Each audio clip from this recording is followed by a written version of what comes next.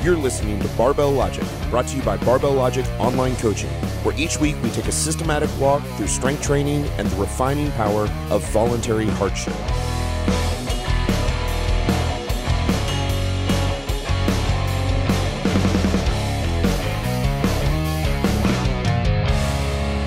You're listening to the Barbell Logic podcast. This is Matt Reynolds. I'm here with Chris. This is another Principles episode. Happy Sunday to you. And today, we're going to talk about the value of admitting your mistakes, being able to take personal responsibility, and, and taking personal responsibility um, certainly is a far broader topic than just admitting mistakes. So we want to hone in on this one right now. But this has been something that I have noticed has been very much a pervasive and important um, thing in my life, something that's had a dramatic positive impact in my life.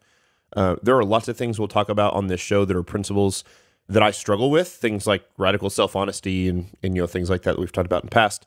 Um, for whatever reason, it, especially in my later life, say in the past ten years, it doesn't bother me to admit my mistakes. And what I have found is that it makes my life easier. And so I just want to flesh that out a little bit, what that looks like, and talk about the kind of psychology behind it. And so, um, what do you what do you think when I when I said that and I presented that topic to you, like, hey, let's talk about this? What were the first couple things that came to mind? The first thing that I think about when I think about admitting your mistakes is that it follows your own maturity path in life. I think, uh, and I you know I know this from at least my younger kids that they really struggle with admitting mistakes that they've made. And it's not because of a culture in our house of not being able to say you were wrong, because I say it all the time, and, and so does my wife.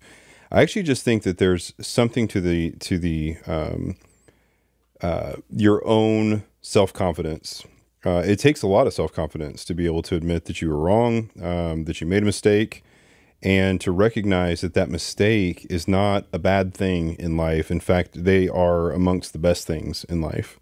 Yeah. Um, we we learn so much more from mistakes than we do from doing something well, um, and uh, and so I think that as as most people that I know who are good at this got good at it over time as they got older, as they gained confidence in themselves and what they were doing uh, they got to where they were able to admit their mistakes because they recognized that it was it was in coming to terms with their mistakes that they became better.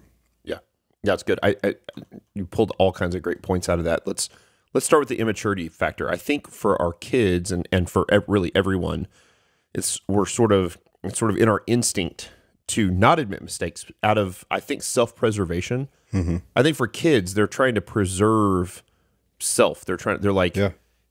And so it's interesting because you can reason with them when you catch them in a in a deep mistake and be like, "Buddy, just it's okay. Just tell you know, just tell me like there's been no pattern of behavior that says that if you say you're sorry and admit that you're wrong, that I'm going to beat you to death. We've never done that. That's that that's not what we do here. So there's so it's interesting because there's no pattern of behavior that says that if you admit you're wrong, then bad things happen to you in this household. As a matter of fact, it's almost always the opposite in my household we celebrate the fact that man, that's very mature that you were able to see that right. And learn from that thing, right? And so and so we celebrate that. Now, interestingly enough, I think that unfortunately, many people never grow out of that immaturity, and they continue to make it this sort of thing that's about self-preservation. I think it's also about pride, and it's often about stubbornness, and and the, and as you know, especially as you get old enough to understand what those things are but I still think there's this self-preservation piece. And one of the things I thought I've thought about for guys like you and me, and I know many of our listeners, I've said before, I don't know if I've said it on the show, that I I dislike awkward conversations and confrontations as much as the next guy. I can't stand it. But I'm forced to have them all the time. Yep. I've been forced to have them. I had to have them as a teacher, I, and of course, exponential increases in owning business, in being a father. And what I found is that when I'm able to admit my mistakes, when I'm able to be transparent, when I'm able to be vulnerable, when I'm able to actually identify that, you know, daddy screwed up or, um, or Matt Reynolds, the the owner of this business, made a mistake, it's actually incredibly freeing. When I hold on to the mistake and and and refuse to admit it, I feel like it holds me in bondage to it. Right? Like I've planted my flag. I'm I didn't make that mistake, but deep down in your soul you know you did, right? Well, you're absolutely damned to make the same mistake over and over again if you can't confront it. And so right. I that, that's exactly right. I also think that you have there's an aspect of this that's even more important for people who are in really any kind of leadership type position. And I'm not just talking about in, in business. I mean parents too. You know, you, you want your kids to be comfortable making mistakes and uh, growing from them. And you as a parent are unwilling to admit when you make mistakes uh, guess what? Yeah. you know, you're, I mean, like, so, and the same is true if you're a boss. If you're a boss and you're, you're the boss that can never say I was wrong, you're not going to find a lot of your employees coming around going, ah, man, I really, I really screwed right. up on this one. And, and, uh, and this is what I learned from it. Uh, you know, part of the thing that has to come out of this is, in the I don't know if this term is used uh, very frequently outside of the DevOps world, which is a, an area of technology that I'm, I'm used to, but this idea of the post mortem which is when you know a bad mistake has occurred, some sort of incident has occurred, and you need to go back and you need to examine as a company why it happened and make sure that you design and modify systems and processes so that it doesn't occur again. And uh, over the last probably five or ten years, that that phrase actually became a blameless postmortem. So you would get all the people into the room that were involved in fixing whatever it was, whatever the incident was.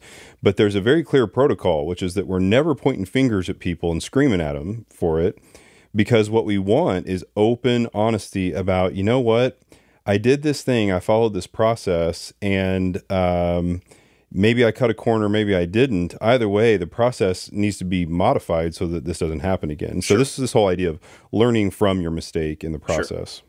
Yeah, and uh, on top of that, obviously, you've now mentioned twice that we learn far much more from our mistakes than we do from our our our good decisions, our our correct decisions. But I think it goes even further than that. That I believe that I am able to have a far better teachable moment with my kids, with my staff, with whoever, when I'm able to admit my own mistakes. So it's not just about let me teach you and model how to do things right. It's let me teach you and model how to take responsibility for when you do something wrong. Yeah. Not to point fingers at them because they're doing something wrong, but because I'm modeling that, you know what? I had my head up my hind end right there. Yep. That was not okay. Like I, you know, there have been many times where I've. Let's be practical and honest for a second. Like there have been many times, and I'm sure you have similar stories, although after going through our personalities, probably less than me, that I have taken out anger on my kids or my wife, having nothing to do with my kids or my wife, entirely to do with stress in the business. Now, let me be clear when I say anger, I don't mean I'm screaming and throwing stuff through the window or beating people, but it's just, you know, you just, you respond in a way that's less than kind. Like maybe you even yell or you curse or whatever that thing is. And, right. and then later you're like, that, that didn't have anything to do with them. I was in a bad place because I was stressed because of this thing that happened. So then to go back to them and say, hey, listen, when daddy got mad a little while ago, that had nothing to do with you. That is entirely on me. It wasn't okay. Right? It's not fair to you for me to take that out on you. And I'm really, really sorry. I love you so much. Like nothing's changed in the way I feel about you. And I'm I'm really, really sorry that I responded that way. And then you can see the teachable moment. You can see the you know their eyes get bright and a lot of times their their eyes will well up with a little bit of tear because they thought that they did something wrong and that's why right. you were mad at them. Oh yeah yeah. But they didn't. Man the the introverts version of that is not it doesn't show out the same way but it does have the same exact effect. And that is for me um, when i get particularly stressed or when i'm really maybe starting to border just a little bit on getting a little bit of depression uh, which happens to me. I get super, super quiet. I go right into my brain and I'm trying to solve things and I'm having arguments with people in my mind. Sometimes I'm thinking about something from about every perspective in my head that I can. and I ignore the world around me. And so my kids and my wife will sometimes be like, "Why are you so distant?" you know? And eventually I come out I'm you know I'm not done with it. I'm still working on it. Sure. That, that type of thing. But I mean, I get pretty quiet to the point that when people talk to me, I often don't respond and uh, sometimes I didn't even hear them. Uh, and my wife has worked with me on just telling everybody what's going on in my head. Hey, daddy's got a thing I'm working through in my mind. I'm going to be really distracted for a little while. It's nothing about you, but um, you know, I, I need a little bit of time to process this and think through it. And that's, you know, that's what's going on. And so it is the same type of thing. I, I don't typically lash out with anger. I'm just totally silent. I become Sure. I become a rock sitting in a in a in a chair somewhere, and nobody knows why I'm uh, despondent. So No, it's good. Another extremely important piece of this that I have found is that the value that it has for conflict resolution, right? So if I if I am in a conflict with a member of my family or a member of my staff or maybe it's you know an issue with a client or anything in the business and and there's conflict or things go bad even when it is pretty clear or even maybe abundantly clear that the other person is primarily in the wrong. Here's what I know I can't control what they do, yep, I don't have any power on what they do. So, anytime that something bad happens to me involving a relationship or a conflict in, in family and business and whatever, the first question I ask is, what role did I play in this? And the answer is always something. yeah, something. It is Absolutely. almost never, and uh, like as a as a what even you know as a as a dad and someone who sees himself as the head of the household, and I'm not talking about any of this. I'm I'm certainly in a hierarchy over my kiddos, right? My wife and I are very much it's pretty egalitarian in in my life, and the same thing in the business, right?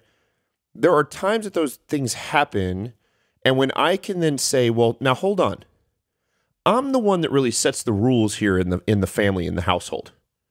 I'm the one that helps set the culture. And so if this thing happened because my kid did something, I still had some role to play in that, yep. right? And the, and it's far more true in the business. Like when something happens in the business, somebody makes a decision that I feel like is a selfish or a wrong decision. I don't have a discussion with them to try to get them to admit what they did wrong.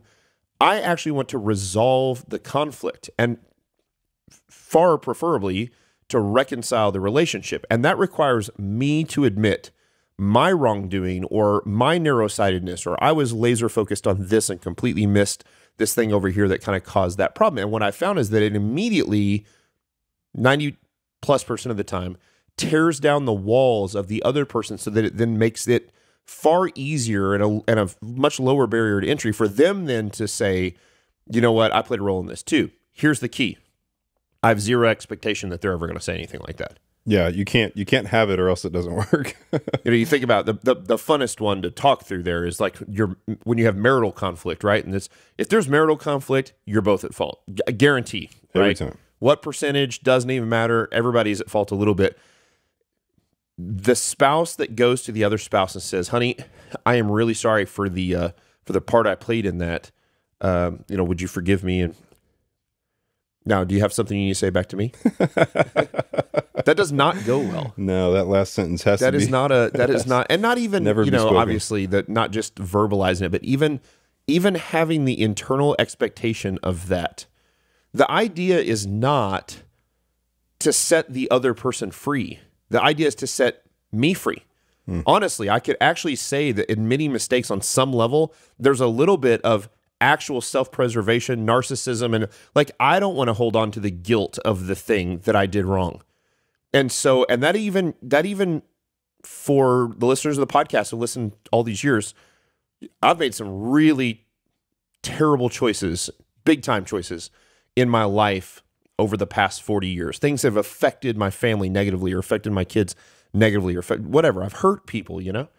And and as a, as a guy that's kind of out there and is fairly public with the podcast and with the business what i want to do is i want to be able to run away from those things and i want to hide them but then it just eats me up inside and it's far easier for me to just like I'm not going to go air the details of my dirty laundry out to the podcast, but to be able to say like, look, I used to be a really shitty husband to my wife, and I'm so grateful that we've been able to come through that. My marriage is stronger than it's ever been. Like that's freedom to me. That's not bondage. The other way is bondage. Then I feel like, oh, oh God, I'm hiding. I'm pretending to be this thing. I'm pretending to be the wonderful husband, the wonderful father, the wonderful boss, the wonderful business owner, the whatever, and I'm and I'm not all the time. And so there's freedom in me for me to be able to admit those mistakes. I think there's a there's an aspect to all of this. I think that under underlies much of of the conversation we're having that mistakes are bad and you don't want to make them. And I actually think that idea in and of itself needs to be completely tore down. Sure.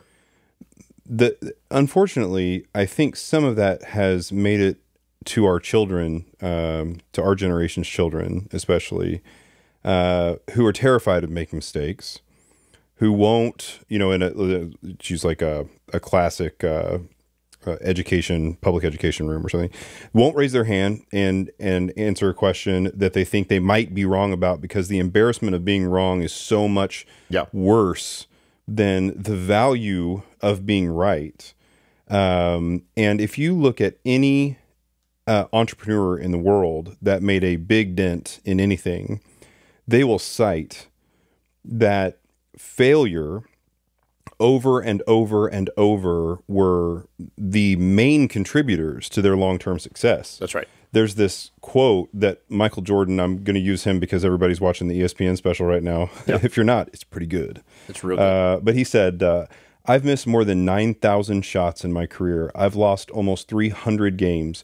26 times I've been trusted to take the game winning shot and missed. I've failed over and over and over again in my life, and that is why I succeed. And I think when you look at somebody like Michael Jordan, and you, you what you realize is you have to get. Uh, by the way, that is not an endorsement uh, to be like Mike. Uh, when I walk away from the ESPN special, I go, "Man, I'm glad I'm not like Mike." That's but right. uh, props to Michael Jordan, uh, who's not listening to this. Anyway, the whole point is failure in life is literally the thing that you learn from, and they are. I in some ways, I think I think about failures and uh, mistakes as those things along our path that were always going to be there. Um, so if you could see your entire life, you know, as like maybe a big long trail that you had to get down, the the failures and mistakes along the way, you always were going to hit one way or the other. The question is, do you hit it and fall over and stop? right. or do you do you move on uh, learn from the mistake and go hit the next one Sure. Well, because hey, to make it to the end you got to hit them all why do we why do we do things like really hard linear progression squats? right Because at some point we're going to fail. that's right and we have to learn how to grind and we have to learn how to persevere. We have to learn how to do the voluntary hardship thing. And that's it's that's the reason that here's a thing again that is not moral or immoral. It's it's lifting weights right? Um, but it carries over so well to the rest of our life. And, and by the way I, I think most of the the things you were bringing up right there those mistakes so many people struggle with admitting mistakes when they are amoral mistakes. They they were you made the best decision at the time that you knew how and it was Yeah. wrong. yeah It wasn't immoral. It wasn't in the Judeo-Christian sense of the word a sin, right? It wasn't something that was like malicious or depraved or evil. It was it was a mistake. It was yeah often an accident, right? And and that happens all the time. As a matter of fact, the vast majority of mistakes that I've made in business, I look back now in hindsight of 2020 and be it 2020, also in the year 2020, and look back and say, this I would have done differently. But at the time, I did the best that I knew how. There are many people that struggle with making with admitting those things, and I think that's maybe that's a great first step, right? Uh, it could literally be as simple as I'm sorry, I, I, I burnt the breakfast, or I made a mistake. Like I, you didn't mean to burn the breakfast. You didn't burn the breakfast on purpose. You didn't burn the breakfast because you hated the person you were serving it to. Like none of those things are are reality. And what is there to lose in admitting that you burnt the breakfast? I mean, that's that's a minor thing.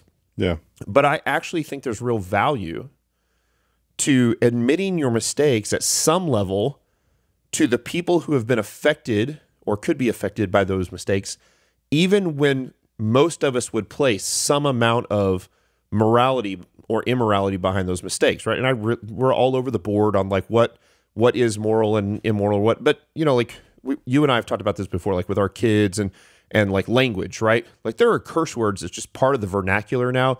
You know, we give people listen to this podcast once every two months. We get an email like, "Boy, I sure do wish like I sure would like to let my kids listen to your podcast, but just a little too much, uh, a little too much language in there." I'm like, I absolutely get it, you know, but we are who we are, right? And so in our generation, it seems to be acceptable by most, and I realize that there are going to be people listening to this that cringe that our generation just kind of drops the F word sometimes in normal vernacular. And we don't consider it evil. If we said that in front of Grandpa Lynn, he would he would not be happy at all, right? True. Now, there are ways to use the F word that are clearly mean spirited towards other people.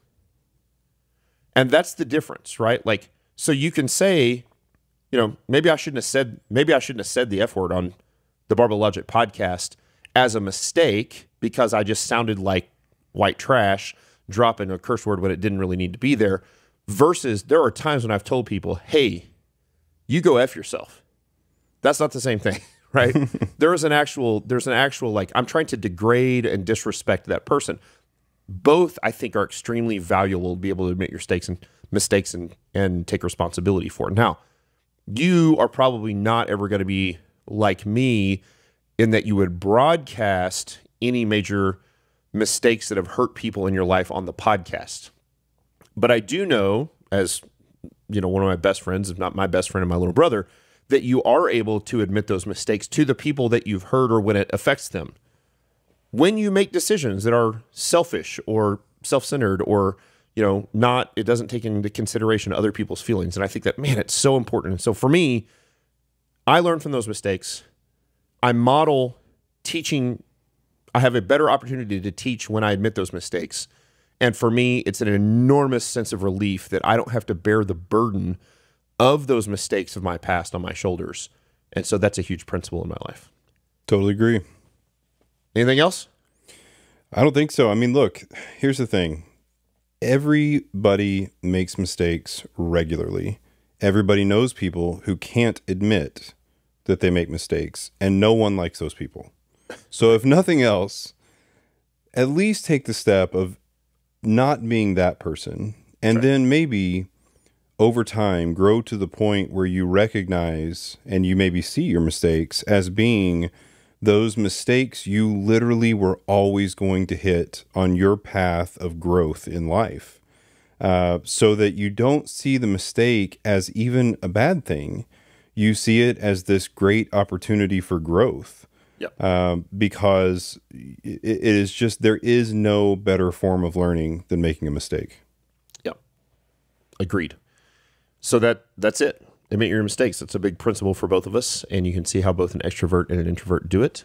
You have been listening to the Barbell Logic podcast, our principle series on Sundays, where we talk about all those important things in life that will uh, certainly bleed into the gym and into, uh, you'll see a lot of those principles and culture of what we do in the gym and at Barbell Logic uh, in those principles, but they often deal with things like family, business, relationships, um, so on and so forth, knowledge, reading, and so uh, come and hang out. Hope you are enjoying the principle series that we do on Sunday.